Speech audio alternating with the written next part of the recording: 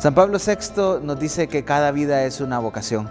Les invitamos a conocer sobre la vida y obra y ministerio sacerdotal del Padre Héctor López, encargado de la parroquia Madre Dolorosa. Acompáñennos.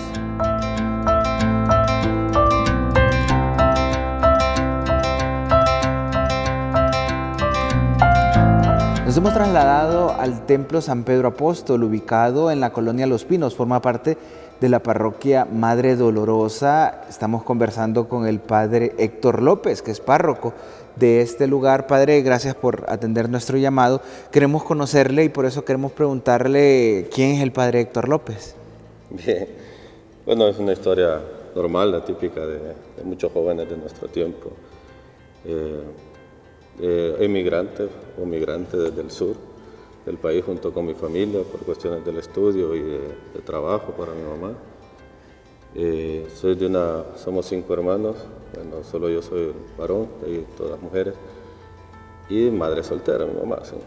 Entonces esta situación de mucha lucha de ella por sacarnos adelante. Eh, crecimos con los abuelos, nos fue trayendo para Tegucigalpa y así este, poco a poco nos fuimos, fuimos en nuestra formación académica que se esmeró mucho ella porque estudiáramos. los familiares dicen que le decían, ¿para qué ponerlos a estudiar? Mucho gasto. Pero ella con sacrificio, incluso hasta con dos trabajos, logró hasta hacernos estudiar a todos. Y, ahí pues esa es la historia sencillamente, de manera simple. ¿Pero de qué parte del sur, padre? De Huascorán. De Huascorán. ¿A, qué año, ¿A qué año se vino? ¿Cuánto tiempo estuvo allá? Eh, tenía yo, eh, cuando iba a cumplir 12 años para entrar al colegio, más o menos por el 92, 93, por ahí, eh, tocó venirse para acá y dejar la tierra querida. Interesante. ¿Vivió antes con sus abuelos? ¿Qué recuerda de esos primeros años en Huascorán? Bueno, mi casa tiene una particularidad, ya está afuera de la comunidad, incluso ni luz eléctrica, porque está, queda bastante retirado. Y eh, vivir en el ambiente del campo, con, gallinas, con cerdos, con perros y con los abuelos, eh, es decir, fui criado a la antigua, con una mirada uno hacía caso. sí, y el ambiente de la escuela, tan, tan normal del campo, sí, jornada matutina, jornada vespertina, o sea, los dos, en la mañana y en la tarde íbamos a la escuela con profesores muy cercanos y también de un ambiente, la típica vida del, del campo, sí, la milpa y este, cultivando el maíz, los frijoles. Cuatro hermanas, me dice, son cinco. ¿Cómo fue vivir eh, con ellas eh, bueno, en ese sentido? Eh, como mi mamá se vino a vivir a Tegucigalpa, nos iba trayendo conforme íbamos avanzando en, la escuela, en el colegio. entonces, poco tiempo yo compartí directamente con ellos en la cuestión de, acordarme, ¿va? los primeros años, de dos, tres años de, nacido, pues sí. Después pasé más tiempo con una de ellas, sí. Y era tan lo típico, él era el único, el hermano menor y varón, generalmente es el que más molesta y el que más hace llorar y pelea y cosas por el estilo. ¿Fue muy travieso en la infancia, padre? Con mi hermana, según sus memorias, le, la molesté mucho, sí. y sí, bastante travieso. Interesante conocer ese dato, padre. Eh, llega el momento de la escuela, se traslada para Tegucigalpa eh, ¿Cómo le fue en los estudios? Mm, nos decía que costó bastante. En, el nivel académico en la escuela era muy bueno, siempre fue excelencia académica, pero que quizás el traslado de la ciudad, del campo a la ciudad, los primeros dos años fueron terribles en el colegio, hasta que me, nivelé ya en tercer año en adelante, con una nota nunca de cuadro de honor, pero sí eh, buenas notas, digamos. Eh, para mi mamá pues era difícil, pues tenía que trabajar mucho. Después ella, y a mí es algo que me llena mucho de orgullo, eh, hacían acatamales para, para, para, mantenernos y para darnos los estudios también. Ir con ella al mercado a comprar las cosas, ayudarle a, hacer lo, mínimo que podía hacer limpiando las hojas o cosas. ¿Aprendió a hacer nacatamales, padre? No. Pero me imagino que le gusta me bastante. la masa, me gustan los de mi mamá. Interesante, padre. ¿Soñaba hacer algo en esa etapa? ¿Qué, qué, quería hacer? Sí, uno de mis sueños, que de cierto modo lo he cumplido bastante en la parroquia, yo quería ser arquitecto. Sí.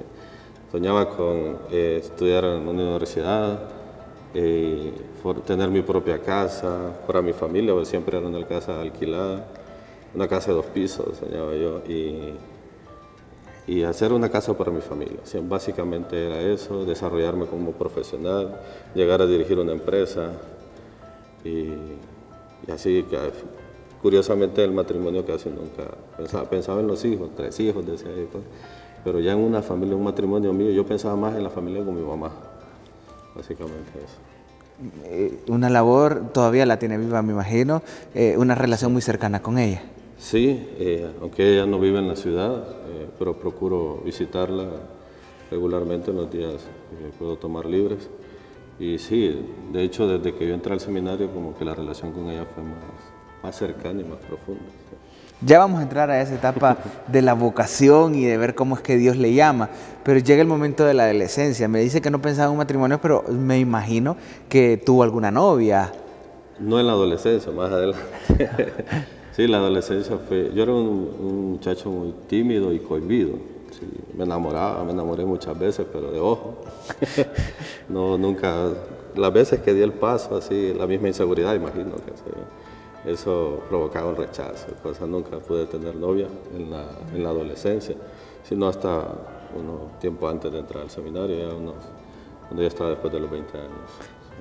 ¿Cómo se refugiaba en esos momentos? Decía, tengo un rechazo, pero o sea, ¿a qué se dedicaba? ¿Qué hacía? Este, curiosamente, nada de iglesia. Sí. Eh, yo, yo fui bautizado hasta los 20 años. Entonces nada de iglesia, más cuestiones de familia. Y yo fui muy de casa, ¿sí? Eh, y creo que eso era un problema porque pasaba solo en la casa, entonces ahí eran todos los problemas que daba en la adolescencia. Eh, el colegio y la casa, eso era todo. Pasar el día con, mi mamá y, molestarla, obviamente, hacerle enojar. A los 20 años, padre, eh, su bautismo, qué interesante saber eso. Quisiéramos ver cómo es que llega a bautizarse, cómo conoce de la fe. Eh, es una, quizás los medios fueron un poco extraños, pero al final logró, dio su objetivo. Eh, mi familia no ha sido muy religiosa, ¿sí? Eh, mis hermanas mayores están bautizadas, los dos menores no, no lo estábamos. Y este, era de ir, yo de niñez, me acuerdo, en mi niñez fui dos veces a misa, en 12 años, en 15 años. Este, uno fue una boda y el otro una misa de exequias. Pero eh, yo decido iniciar una vida en la iglesia producto de muchas situaciones dolorosas en mi familia, con mis hermanas. Entonces alguien me dijo que podía hacer maldiciones o que había que buscar de Dios. Entonces así empecé a ir a misa. Me sugirieron la iglesia evangélica, pero yo decía, no, ahí son muy exagerados, mucha bulla, exigen mucho. Los católicos no exigen mucho porque la visión protestante que tienen es que los católicos somos permisivos. Entonces empecé a ir a misa. Eh, los domingos. Y fui a dar a la Kennedy, a la misa de la, de la pastoral juvenil. Y ahí estaban los que habían sido mis compañeros en el colegio y ellos me llevaron al grupo juvenil y así empezó la historia. Interesante. Queremos ahondar un poquito más en esa historia, padre. Vamos a ir a una pausa. Estamos en el programa En sus palabras con el padre Héctor López. Pero al volver, si podemos ahondar un poquito en esa historia, porque es una conversión, de cierta manera, el llegar a Dios. Continúe con nosotros, por favor, después de la pausa.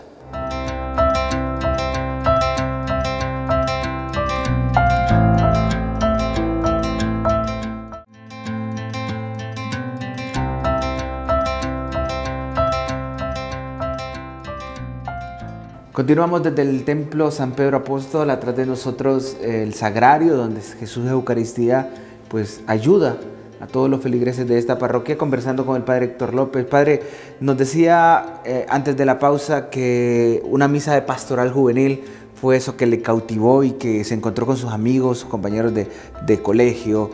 Eh, ¿Qué le llamó la atención de, esa misa, padre?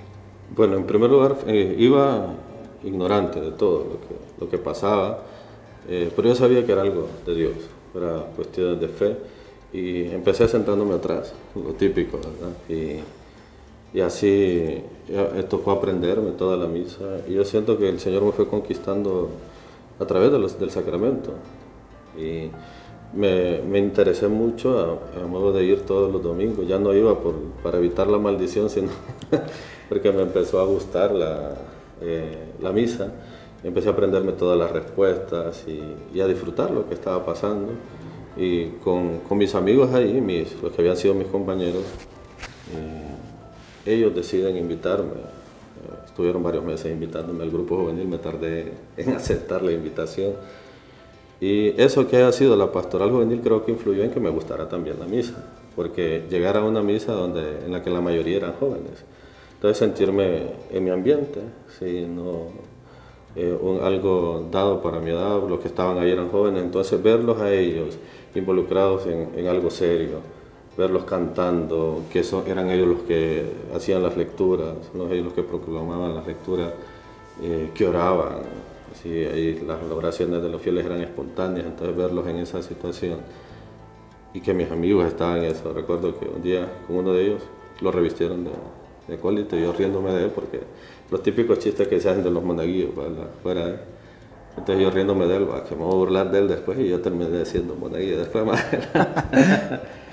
Entonces, así es la forma en que los jóvenes vivían y el, la insistencia de ellos de seguir invitándome a la, a la, a la misa.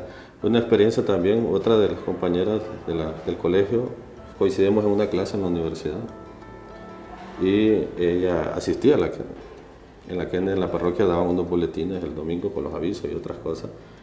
Entonces yo tenía que, el, lunes que iba a clase tenía que llevarle ese boletín para darle eh, para tener pruebas de que sí había ido a misa. ¿Había algún interés de más ahí, Fede? Eh, sí, en principio sí. lo, que puedo decir es que no fui a la iglesia a buscar novia. Estando en la iglesia me interesé por alguien, sí, pero no. Padre, ¿qué le decía a su familia que nos comenta que no era religiosa y que ahora lo miraban eh, asistir a la iglesia? En un principio mi mamá no, le preocupaba que yo fuera a misa, este, eh, porque solo era un, día a la semana. Ya le preocupó lo del grupo juvenil, sin un principio ya no, no aceptaba porque decía que quitaba mucho tiempo y que yo tenía que prestarle mucha atención a mis estudios, a la universidad, estaba, también trabajando creo en ese tiempo ya. Entonces eso era un espacio que me iba a quitar para, para dedicarme a las cosas que ya tenía. Pero al final me, me, atrajo tanto que, que, decidí integrarme al grupo. El resto de la familia, sencillamente, no, no opinaba. Ya estaba en la universidad que estudiaba, padre, me decía que también trabajaba. Sí, estudiaba contaduría pública y trabajaba como auxiliar contable en una empresa. Una vocación tardía, eh, podríamos decir, pero ¿cómo comienza esa inquietud de recibir los sacramentos eh, de iniciación cristiana a, la vocación? Sí, eh, yo inicio, decido entrar a buscar los sacramentos, a la catequesis para los sacramentos, porque quise ser una guía, porque la mayoría del grupo en el que yo estaba, el Crisma se llama, todos casi, la mayoría eran acólitos. Entonces yo quería ser también, y quería, pero para eso necesitaba los sacramentos, entonces fue una motivación también para buscar los sacramentos. entré a la catequesis de confirmación, dentro de esa recibí la catequesis de los, del bautismo y la primera comunión, y a la, vez, a la par llevaba mi formación para ser una guía la parroquia. Entonces eh, fue, me, involucré de lleno en mi grupo, empezamos a acompañar a otro grupo, eh, nunca faltaba las catequesis, me esforzaba mucho por, por asistir y fui, fui, fui, agarrándole gusto a la historia de la salvación y me presentaron a Jesús Eucaristía. me empezaron a llevar al Santísimo, entonces eso Ahí empezó una historia, podríamos decir, de, amor con el Señor. Y eh, poco a poco nos fuimos involucrando en, el trabajo como acólito, con el grupo juvenil, en la, parroquia, la asistencia a la misa, a participar en la misa, pasar a hacer una lectura, hacer la oración de los fieles. Y eh, ese tipo de responsabilidades sumados a un acompañamiento que teníamos con un amigo de, de la fraternidad Verbum y que nos hizo profundizar mucho más en la oración ante Jesús Eucaristía. Ahí empezó la inquietud. Yo, yo digo que mi vocación viene de los sacramentos, porque ellos son los que me llevaron de lleno a, a involucrarme fuertemente en la iglesia y a, a descubrir también la, la oración ante Jesús sacramental surge la pregunta de sacerdote, ¿yo sacerdote? Sí, empiezan aquellas cosas adentro, aunque uno inconscientemente se iba, me, iba, gustando mucho eso. Y empiezan, conforme ven el comportamiento de uno, las personas a preguntarle, esos pescadores así que andan, y no le gustaría el sacerdote, entonces en principio nunca dije que no, sino que no, no está mala la idea. y así empecé. ¿Contrastaba con su sueño de ser arquitecto? Sí, pero a la vez ese sueño ya sabía, eh, ya no lo estaba buscando por cuestiones económicas, una carrera que yo no podía estudiar, porque necesitaba trabajar para poder sostener mis estudios y ayudar a la, a la familia. Entonces eso se había, como que se estaba perdiendo. Pues, ¿Qué dijo su mamá padre cuando le dijo, quiero ser sacerdote? Bien, cuando le dije que iba a entrar al curso de discernimiento, al año de discernimiento, eh, no le gustó la idea. no le pareció la idea, pero al final yo ya tenía ya 21 años, entonces no, no tampoco me puse impedimento Eh, cuando ya iba a entrar al seminario me decía que me esperara más tiempo, que trabajara, que ahorrara más para tener algunos fondos. Yo ya estaba decidido a irme para el seminario pero no es que se desentendió de mí. Quizás no le gustaba tanto la idea, que su único hijo varón, ¿verdad? y la, mentalidad que, tiene aquí, que, existe en nuestro país. Pero me apoyaba. Si yo decidí irme en eso, pues ella iba a estar ahí. Siempre estuve ahí para... ¿Cómo fueron esos años de seminario, padre? Y en el seminario, eh, en un principio se siente como estar de retiro, ¿no? como estar de retiro permanente, eh, fue, fue muy enriquecedor, tiene sus momentos de dificultad, ¿no? en la, eh, porque distintas personalidades viviendo por primera vez juntos, los primeros días todo el mundo es amable, pero después ya, empieza a salir el verdadero yo. Entonces sí hay esos conflictos, pero fue un tiempo de mucha riqueza y mucho aprendizaje. Sobre todo aprender a amar la, vocación, a amar más la, oración, los sacramentos, seguir con con esa fuerza, aprender más de la iglesia, porque yo realmente fui afortunado de que me aceptaran en el seminario sin tener, no tenía ni dos años de haber sido bautizado. Yo creo que es que no se dieron cuenta. si no, no me, quizás no me hubieran aceptado, me hubieran dado más tiempo tal vez, pero este, fui aceptado de una vez. Y entonces mi tiempo, mis primeros años de seminario fue básicamente de conocer la iglesia. De conocer, sí, me gustaba la liturgia, me gustaba los sacramentos, la, parte, la celebración de los sacramentos, sabía mucho de eso. Pero de la iglesia en general, me tocó aprender en el seminario. ¿sí? Ah, y, eso hace pues que, que yo ame mucho la iglesia. ya queremos conocer sobre esa ordenación diaconal, sacerdotal y todo el trabajo pastoral. Eso lo vamos a hacer al volver de la pausa en el programa En sus palabras.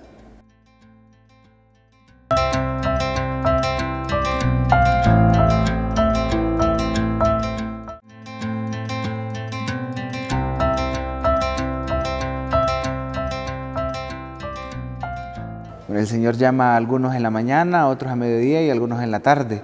Se hablan de las vocaciones tardías y conocemos ahora el testimonio del padre Héctor López, que el Señor le llamó más de, eh, cuando ya tenía más de 20 años. Padre, ¿no hubo algún problema por entrar a esta edad eh, con los compañeros por las diferencias de edades?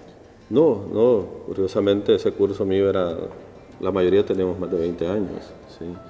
Eh, eran muy pocos, unos 3, 4, tal vez 5 que eran menores de 20 años, pero la mayoría tenemos. Entonces eso no significó, y habían unos ya rayando en los 30.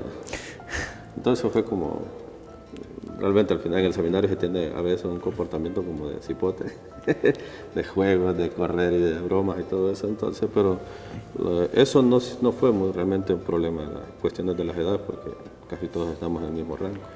Son ocho años de seminario donde nos ha compartido ese tipo de experiencia. Llega el momento de su ordenación diaconal, ¿cómo fue? Pues fue, yo siento que el Señor Jesús tiene prisa conmigo, no, sé qué pretende.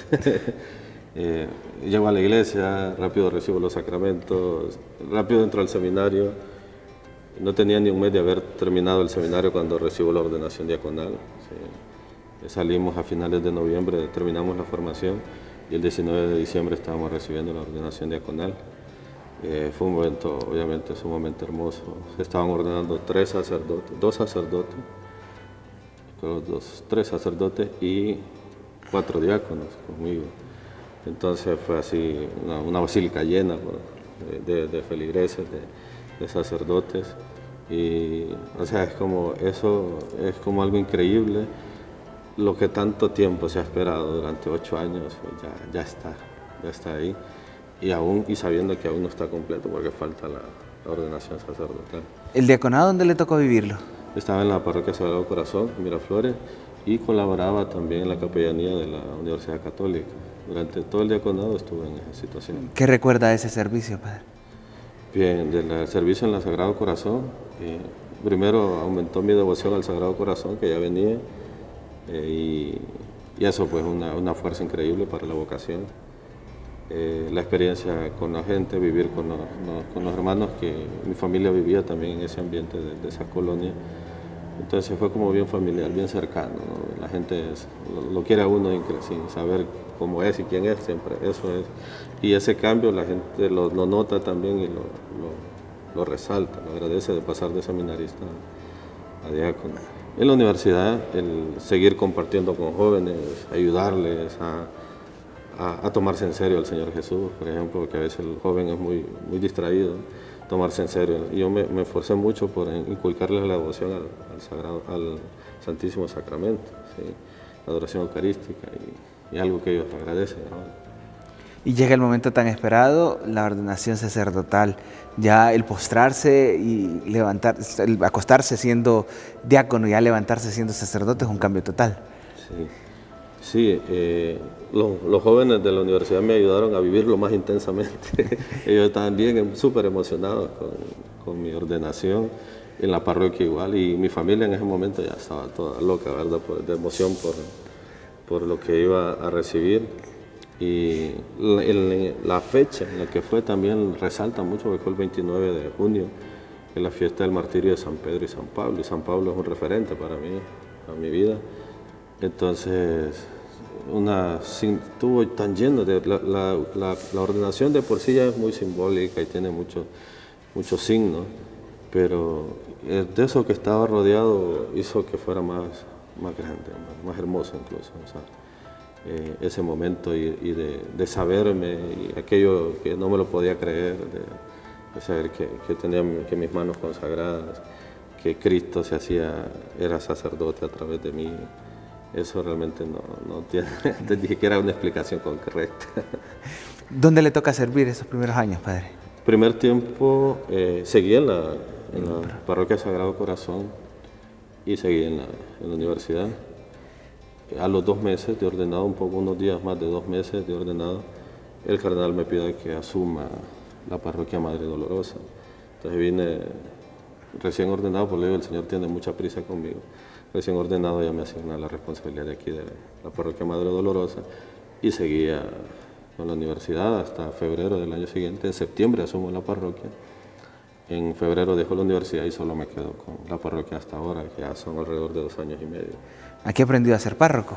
Sí, tocó aprender muchas cosas, pidiendo los, los consejos de, del padre Ricardo Vanegas, que era el párroco de, de Sagrado Corazón entonces, eh, apoyándome fuertemente en él, porque eh, uno llega con mucho conocimiento, pero conocimiento teórico, y la práctica me tocó, a mí me enseñaron a nadar tirándome al agua.